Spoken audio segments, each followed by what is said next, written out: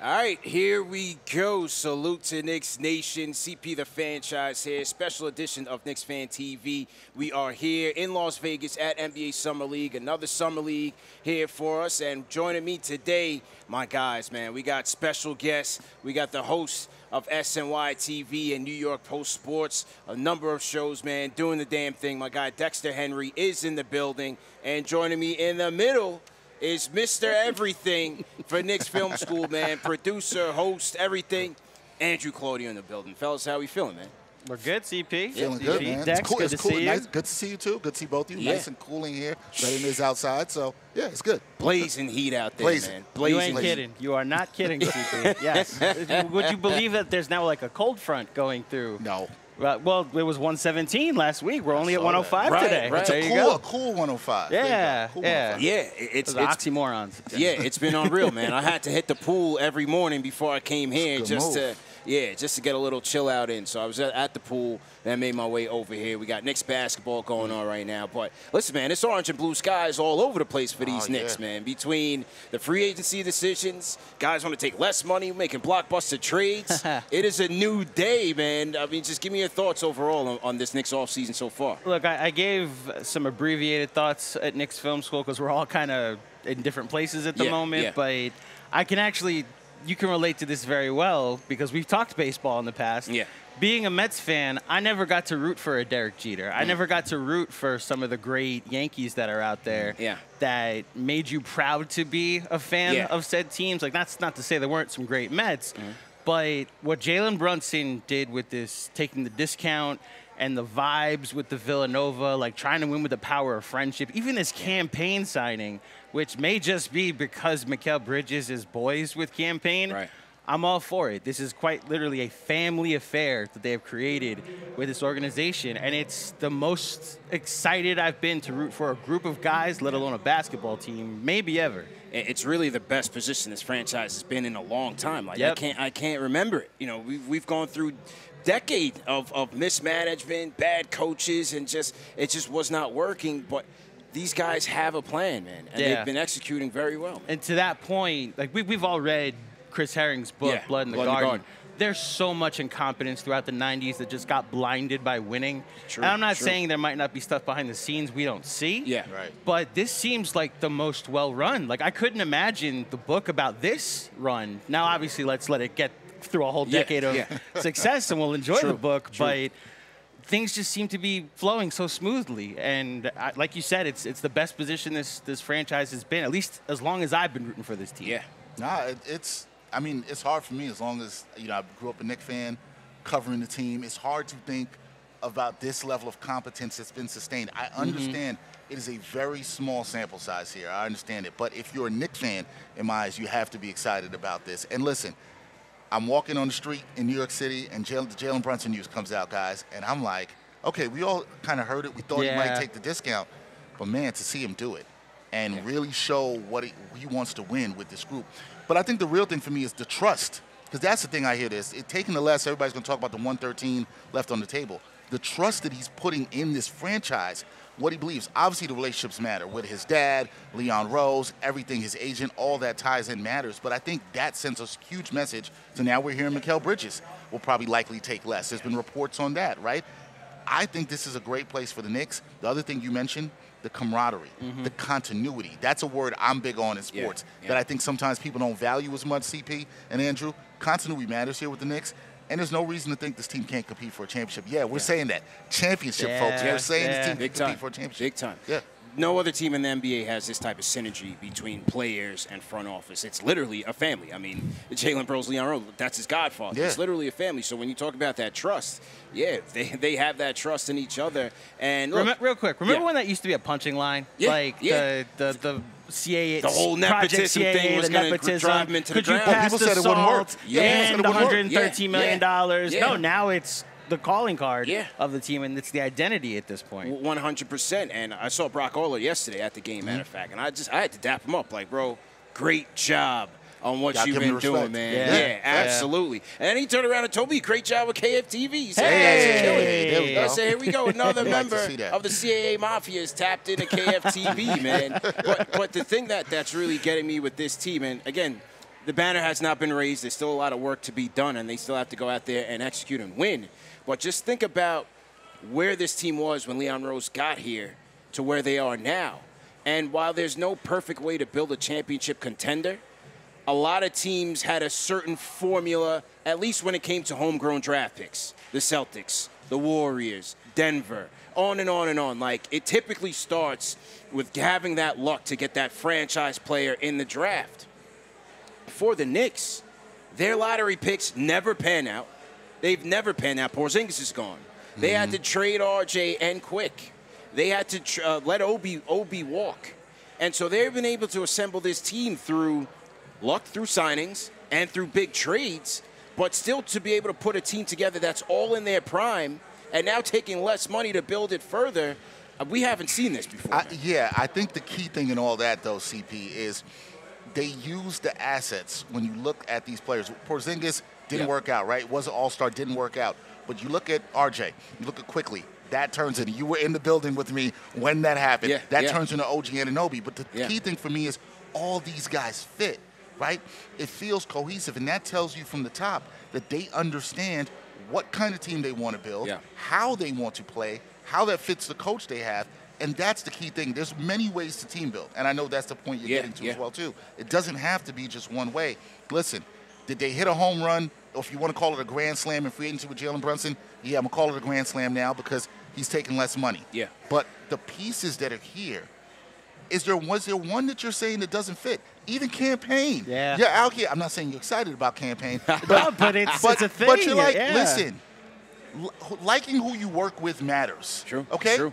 Just want to say to people, you guys who create great content around the Knicks, you love the people you work with. You got a great team. Same for you, right? That matters. You guys have a synergy in what you want to do. I think these guys liking each other, these guys wanting to have a common goal, being connected with the front office, I think Yeah. all that stuff matters. And I think it's a good example for the league and how you can team build differently. Now, obviously, guys, they got to win. Yeah. Gotta win. That matters. Gotta they got to win. win. But right now, how they've built this team, there's not that much you can complain about. And the, the biggest thing for me, because yes, the end goal is a championship, and you, you have to, you eventually have to measure it in, mm-hmm. in titles, because Yeah. that that gets rid of all the details. Mm-hmm. The reason that, and I, I think it's well documented how much of a Carmelo Anthony fan I can be, and how Yes, much I defend Likewise, both the trade. likewise, Both, yeah. We defend both the trade. Yeah. We go through the doldrums of that that 2013 season that Yeah. it wasn't a fluke. Yeah. But like you can't objectively be like they gave up a lot for Carmelo Anthony. True. It's just every move after that was also horrible. True. Yes. They gave up a lot for Mikal Bridges. Every move before and after, I have uh, obviously before I kind of I, I trust the organization and every move they've made leading up to it. Yeah. And I trust them going forward. So it's it's almost as if yes, they have to win a title, but they have my trust that even when like a head scratcher like the Cam Payne move, I'm still like, you know what? You've earned the benefit of the doubt. And that's not something I've had with this organization Yeah. in my life watching this basketball team. Yeah, they and the fact that they're all together, they're they're all young, they're the synergy that you talked about, Dex. Mm-hmm. Man, they're gonna have a, a bunch of shots at this. I, I really believe that Yeah. even like In their it- this isn't bro. like a one or two year run. They they're gonna have a lot of cracks at Yeah. the bites at the apple, as they True, say. true. you And that's that's where the Jalen Brunson taking less matters because he allows them to have more bites at the apple Yeah. because they can stay below that second apron. Yeah. That's it's huge. It's I, ha- huge. I have to get on my Jeremy Cohen for a second because Uh-oh. like the fact that their their MVP candidate is going to be making less than Immanuel Quickley this year. That's not Yeah. even a shot at Yeah. Immanuel Yeah, Quickley. no shot. no shot. It's Quick. just the symbolism of he's going to be making 20 per, less than 20 percent of your salary cap, cap. is such a such an advantage that you're going to be able to play with over the next four years. So it's a tremendous sacrifice that many in the league would not do. Yeah, And so you- you, got you got to give him I mean, credit, man. CP, OG Anunoby didn't take less. OG did Isaiah not take Hartenstein less. didn't take less. I don't fault anybody that takes the biggest offer possible. Yeah. But that just speaks to the level of, of favor that Yeah. he did to this organization. And to your point, the trust. Like he believes that this organization, this front office, is gonna be here Yeah. in three years. Yeah. years. Nobody And you does know that what? if they don't trust I do too. You know. yeah. I, I can't, you know, I, I did a, uh, I, funnily enough, I did a Twitter search on my own name Oh. on Twitter, right?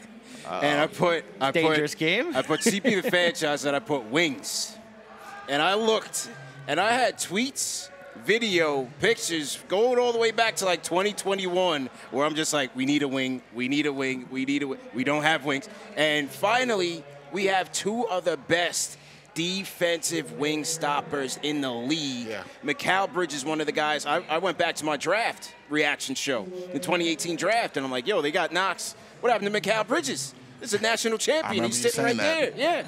So now we got these two guys. That's what I can't wait to see, man. They're saying Wingstop is the nickname. I don't know what ah, you guys I think. like No, I haven't even like heard it. that one yet. That's Wing, great. Wingstop is, Yeah. is, looks good, Wingstop? Yeah. Okay, I Yeah. like that. Wingstop looks good. I like But that. I think one of the things, of course, yes, their defensive prowess is, is going to be their calling card. But both of these guys have shown the ability to be able to mix it up and score, not just as spot up shooters, not just in catch and shoot corner threes, but Mikal can put it on the floor. He can operate in the mid range. We saw OG. I was very impressed with OG in that Philly series with the way that he was able to operate. Yep. And so now you, you're going to have guys one through four for now that can create, that can put the ball on the floor, that can create for others. I like the way this offense is moving, man. I like the way this offense can look. It almost, and I think basketball fans will understand me when I say this. Yeah. This Knicks team has a chance to be one of the more balanced teams that we've seen without a mega superstar. Say, not saying that Jalen Brunson is Yeah. a superstar, mega superstar since like the Detroit Pistons of 2004. Mm. They remind me a lot of that team in the way they're able to defend. They're versatile. One guy might be able to give you 30 one night. The other, I think we all know what we're going to get out of Brunson. Yeah. But what Bridges can give you, as you said, what OG can can give you. Yeah. And you should have seen how excited this man was when the OG trade was announced. Why? Because in that show we're talking about, he's like, I want to win, and now he's got wings. It's Wingstop Central It's for CP Wingstop, right now, right? I believe there Yeah. was a third person also from And Big John- School that and also Jonathan made it went very crazy. clear Yeah. how happy With a he couple of was. words we had to bleep Yes. out. yeah, I yeah, remember. yeah. but Yeah. but I just think it's the balance of this team that I like, right? And and Yeah. and it's the depth that adding to that continuity. I think the other thing is everybody's going to know their role. Everybody is going to want to eat, but not to take away from people at the table. So this is helps Julius Randle. We saw how Julius Randle thrived a lot when OG came here. Now with Mikal here, if Julius Randle's off has an off night, you're like, man, Mikal can cook. Yeah. OG can cook as well. Brunson has an off night. You think those guys could pick him up? Right. That's the beauty and I think the fun of this team. I see you smiling already. You're I'm- I'm envisioning. giddy, you're thinking man. about I'm the so playoffs. giddy, but you should be excited. Yeah. You should. If, if you're a Knicks fan, you should be excited about this. Yeah. And here's the other thing. To your point, to get back, CP, you got wings that can match up with Boston. Now you got guys you can throw at Jaylen Brown and Jayson and Jayson Tatum. You got guys you can throw at them. You can throw somebody at Paul George. You can Yeah, throw yeah. somebody at Tyrese Maxey. Giannis Middleton. Giannis and Middleton. Yeah, it's it's no longer like against those teams. It's no longer like okay, we need a great night to beat this team. Like Right. no, we have different ways we can beat Because the. Bucks have been a tough matchup for the Knicks, right? Exactly. Because of lack of size and lack of defensive acumen on the wing. But now you have that, and I think this is what should excite you. It's like whatever series you go into, you feel you should feel pretty good. Well, I'm not saying you're gonna win, but you should feel pretty good. You're hinting at it, Dexter. The most exciting thing for me, Uh-huh. yes, we have two outstanding defensive wings that might have some creation ability that may not have been tapped into. Mm-hmm. Yeah, I know Bridges showed a little bit in Brooklyn, but mm-hmm. we, we have two, OG Anunoby and Mikal Bridges are going to be elite to the story, right? Mm-hmm. We don't just have two wings. We have wings upon wings upon wings on this team. Maybe you want a wing that can rebound. Here comes Yeah. Josh Hart Yeah. and his his uh, Energizer Bunny attitude. Yeah. If you want a wing that can shoot, here's Donte DiVincenzo, who has played a little bit of three, he played a little bit of two, like set the Knicks three-point record last year. Yeah. And they're your backups right, Right. now. That Right. they, they have built such a deep roster. And all this to say, a guy that got inserted into the starting lineup that I'm very high on, the one one of the two homegrown Knicks remaining, Deuce McBride, Yeah. showed an ability, and this is why he's so important in my mind, to succeed next to Jalen Brunson. He's Yeah. not just a backup. Like that's why the Cam Payne move was a bit puzzling because Mm. he's actually in the perfect role Cam Payne to come in, Mm-hmm. play 15 minutes, just back up Brunson, give him a breather. Deuce can do that and play next to Brunson in Right. certain Right. They're, they're, this team is so deep, has so many different looks they can throw at you. Yeah. And you bring up the Pistons Yeah. dare me to dream a little bigger because I've been down a basketball reference deep dive. Mm-hmm. And what team defined the 2010s in your mind? Both of you. I'll ask both of you. What team? The Spurs. There was Spurs. one other team. One other team that won 73 Spurs. games. Warriors. The Warriors. yeah. So the Warriors, for the majority of those first two years of Steve Kerr, before mm. they got KD and became an mm-hmm. unbeatable mm-hmm. team, right? for those first two years, he was starting Bogut at center, and then what became known over those first two, the, the 67 win team that lost, that won the finals, and the Mm-hmm. 73 win team that lost the finals, there was a death lineup that Yeah, was created yeah. with Draymond, at the at the five, and Iguodala, and Harrison oh, Barnes, what's your and death Thompson. lineup? So, I, I see your Warriors death lineup. Yeah. Granted, none, nobody has Steph Curry on the Knicks. Mm-hmm. Nobody is Steph mm-hmm. Curry. But if OG Anunoby is your five, and Randle is your four, and Mikal Bridges is your three, and DiVincenzo is your two, and Jalen Brunson is your one. And look, I understand who the head coach is, Tom Thibodeau, and how he may be in love with rim protection. Right. But I will note that the death lineup that we all thought the Warriors won with, and oh my God, they played it all the time. Steve Kerr's a genius. It played 222 possessions that first year, mm. 347 the second. Was their third most used lineup in both seasons, and he only pivoted to it as a starting five in Game Four of the Finals mm. in 2015. Right. After they fell down 2-1 to LeBron and the LeBronettes, like mm-hmm, Della mm-hmm. Vadova and that crew. Like they have a death lineup that I think they'll they have the potential to tap into. And it's look, we heard Fred Katz reported Thibs was looking into some Warriors film. That's why Yeah. we saw a lot more ball movement, running a hub of the offense through Hartenstein. Yeah. I think we might see that lineup Yeah. a lot this season, Thibs and it might be something that they that's Right, I mean, right. specifically the ingenuity Right. of the, the offensive adjustments. Yeah. He's always known as Yeah. a defensive guy. That's that's the word I was looking at. The ingenuity. I- I mm-hmm. don't think we give Thibs enough credit. He's been willing to adjust and, Yeah. and adjust to the to the modern game, and so we got to give him that chance because as they continue to, to fortify this team with defenders. You may not be as compromised in the front court as you were in the past. You may now be able to take those type of risks with your lineup to be able to go small. And against Boston, you're gonna need to try that. And I know a lot of fans like to say, "Well, Boston's not the only team we need to play play for." But for the Knicks to be able to have optionality, to be have to have Right. those options where, yeah, we can go big, we can keep Mitch out there, or we have the option now to go small because we have savvy, capable defenders between OG, and, uh, OG uh, Bridges, Hart.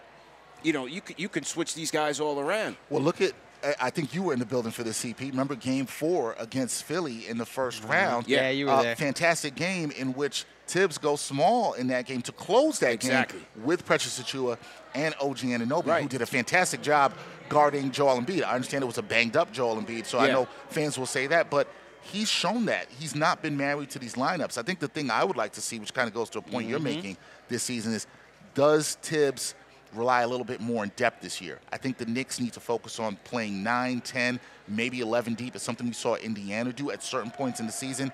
Give guys like Kolek some minutes. Does Mm. Pacome Dadiet get some minutes so that guys aren't burnt out when it comes to the end of the season? That's the next adjustment I want to see with him. Yeah. But with lineups, I think he will. I think he will experiment with some of those smaller lineups, and you have to. You've got to give teams different looks.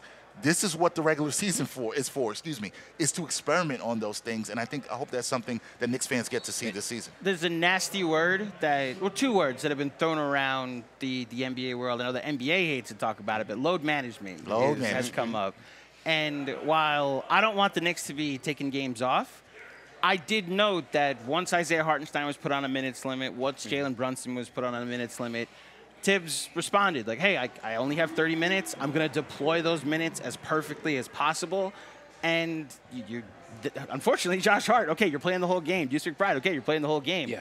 Now he has options, like you said. He has Deuce McBride. He has, you know, his backups were all starters last Mm-hmm. year. You look at the starting lineup for game set for game five and six Yeah. against the Pacers. Deuce McBride, uh, Deuce McBride, DiVincenzo, and Josh Hart. They're all your backups, All now. They all have the uh, experience playing heavy minutes. Ding, ding. They also now have experience playing backup minutes. Yeah. So they, I agree with you. It's something I hope they do that they, they lean on their depth this year, and it's going to so. create different looks and different options for them to succeed. CP the Fanchise, Dexter Henry, Henry, Andrew Claudio in the building. Knicks fan TV. We are here uh, from Las Vegas Summer League. Right behind us uh, are the Knicks and Nets playing their Summer League game. We're going to talk about the Summer League team in a little bit, but with this Cam Payne signing, a lot of the reactions I saw were, "Is this it for Deuce? Is this it? Is there another trade coming?" I always expected them to go out there and get a veteran backup point guard, despite Kolek looking like John Stockton out there in the first summer league game. You know how we are. Yeah. So you know how we are with the overreactions. I still expected them to go out there and, and get a backup. I was told Burks they wanted him back. I'm not just hyping up my guy, Big Money Burks. Nah, I, I was told Burks they wanted him back. he took his talents to South Beach, and so I did think it could have been a Lowry, could have been a Cam Payne. They went out there to get Cam. I don't necessarily think this means Deuce is packing his bags, and I certainly hope not, because based on what we saw from him last year, I thought he was tremendous for this team. Yeah, he has his weaknesses. But if you put him off ball alongside another ball handler, he's going to be impactful for you and an efficient, impactful scorer. And he showed you more in the mid range, showed you a little bit of playmaking capabilities, some toughness. I'd like to see Deuce here, but what, what do you make of the uh, the Payne signing as, as to what it means for the future? I think it's insurance for depth, and I don't think it's anything more than that, right? And, I, and you know, Ian Begley of SNY spoke a little bit about that, and he said it was he saw heard some of that and talked to people that said, "Hey, don't worry about Deuce." I can tell you, the organization loves Deuce.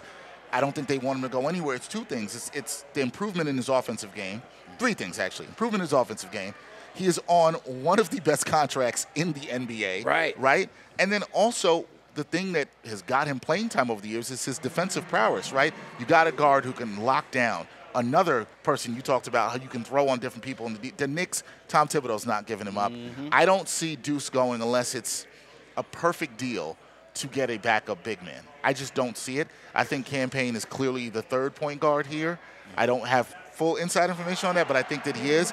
And I still think you're going to see. But what the thing is, you can put him and Deuce in the backcourt. As you mentioned, Deuce can play off Brunson. He can play off Cam Payne.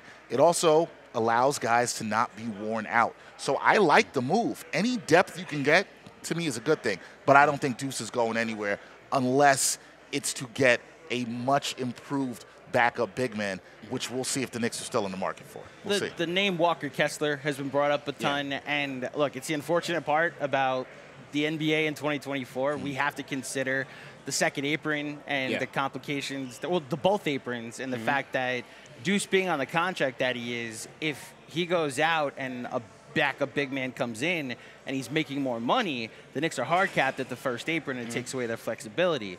Kessler's the name that has always stood out to me that if Danny Ainge has a moment of weakness and decides that he doesn't want like all of the picks and your mm-hmm. firstborn and all the coupons that you have in your wallet, like and he's willing to make a fair trade with you, Yeah. then Deuce and whatever pick swaps or protected picks the Knicks have left could be a deal for Walker Kessler. Mm-hmm. Outside of that, I'll just echo everything Dexter said. I, Yeah. I'm very high on Deuce McBride as well. I don't think it's that big a deal that he's not a true point guard. I Yeah. don't think the, tr- the, the initiators in the second unit will be Mikal Bridges, Julius Randle, and Josh Hart Josh at Hart. times. Josh Hart, like transition. Deuce. Also, if you're talking like three possessions Yeah. in the second unit, Won't that's not going to kill you. kill you. You Yeah. know, and Nah. his his shooting ability has always just been such a, an important, especially this year. Him, him elevating to be a dependable Tremendous, shooter. tremendous. Look, I know that Halliburton took his lunch the last two games of Yeah. the, the playoffs. Yeah. Halliburton. He had a, he was an All NBA player. Like he's allowed to. We're Halliburton. allowed to say yeah. he's a good basketball Yeah. player. I think that the thing that more stands out to me about Deuce McBride's playoff performance, Mm-hmm. The guy won them multiple playoff games. Oh, like you yeah. talk Big about shots. game one, Big you talk shots. about game four. Like Yeah. this guy in the Philly series was Tremendous. essential. Big and if they if they don't have a brain fart at the end of game five, he closes all four wins Yeah. of that series. So. Look, Great I'm point. very high on Deuce McBride, and I look. If the biggest lesson Knicks fans and maybe the Knicks in general learned last year, you cannot have enough healthy bodies in the building. yeah, absolutely, you know, bro. And, And if the Absolutely. if Cam Payne's your 12th man, it's better than Da- well, Right. just because Thibs didn't trust Daquan Jeffries and Jacob Toppin and all of them. Yeah. Now you have a veteran that he'll actually go to. you Great know? point. And here's one thing I'll add to that too. Hmm? With that being said, there may be teams looking at the deadline that might say, "Hey, we want a Cam Payne. You need a backup guard." Now there's somebody on expiring contract, low mm-hmm. contract, who you could sell. That's good value for the Knicks. And maybe he wants playing time. You might be able to flip that. I don't know in the second round pick. But the way this front office is operated competently, you're taking a player that has some value that another team might be able to use. So it's just kind of you're going to have that money free to spend. Yeah. Why not spend it on something that you might be able to flip it into later? And I think that's something to be noted too. Yeah. Austin Rivers, they did that with him True. the first Yep. year. The True, same true. same similar thing happened. True. You know. True. They always like to give themselves options, man. That's Options why I like are how good, the man. Knicks move. I, I like how they're moving right now. Back up five. We'll see what happens. I have a hard time seeing us making a deal with Danny Ainge. Reports, Shams had a report out there in terms of Lauri Markkanen trade value, and reportedly, Ainge wants the house.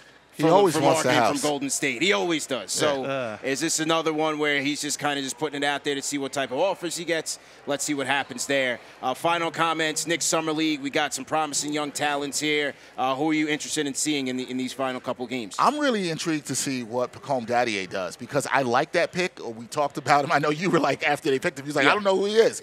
Um, we talked about him on the when we had Chris Persianen Yep. on New York Got Game with me. We talked about him. I like his game, very under control. Didn't shoot the ball that well in the first game, mm-hmm, CP. Mm-hmm. How does he how does he impact the game if he's not shooting the ball well? And then where is he defensively?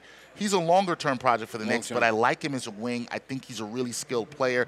What can Tyler Kolek do? Does he look like John Stockton out there more? Yeah. Do we need to pump the brakes? Let's really see on that. And I did. I think the last is also Hukporti. I want to see what he does because Yeah. a lot of the skills you're hearing about him is he's a decent passing big man. The Knicks need to kind of replace that skill set that they had with Isaiah Hartenstein. So how do these young players develop? Will any of them crack the rotation? I think Kolek probably is the best chance to do that. Yeah. But we'll see. We'll see. From a depth perspective, I think Kolek is the one that I have to say I'm interested in the most. The- Yeah.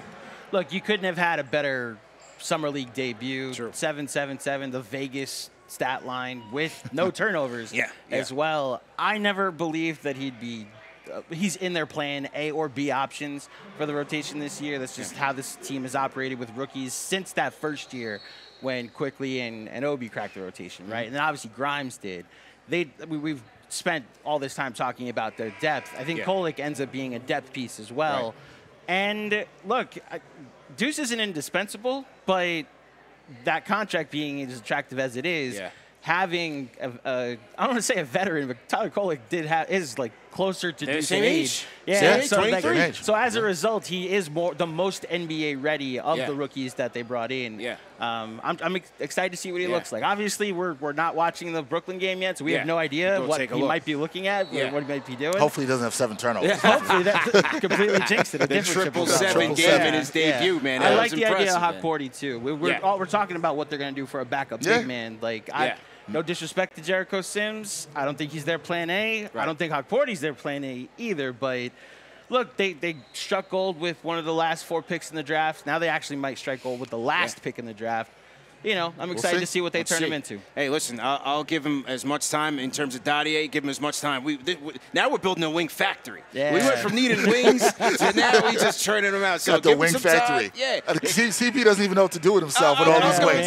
He has no man. idea what to do with different himself. flavors. First all game, I different said, sizes. okay. Oh, man. You know, I didn't know about him in the draft, but I said the first game, I said, okay, I see the potential. I see what they like in him because he's, he's got size, he's got a good frame, good wingspan, and he made some good passes out there. He's moving fairly well. Shot wasn't falling, but hey, we'll give him time. We got enough time to wait for him to come along, and if they believe in him, you know, They with, believe with in him. Perrin and their scouts. Let, us give him a shot, man. Yeah. Let, us give him a shot. So, either way, gang, we're going to go get ready to tap into the Knicks versus Nets action here at Las Vegas Summer League. It's been a tremendous week so far. The Knicks Fan TV, Knicks Film School meetup uh, down at the Tilted Kilt was a tremendous, tremendous occasion. Uh, another fantastic meetup by our community of fans and, and great time by all. So uh, we will tap in with you guys once again. Like, share, and subscribe. Make sure you guys are following these guys at Knicks Film School, at SNY TV, New York Post Sports, CP the Fanchise, Dexter Henry, Andrew Claudio. We are out of here. Until next time. See you guys.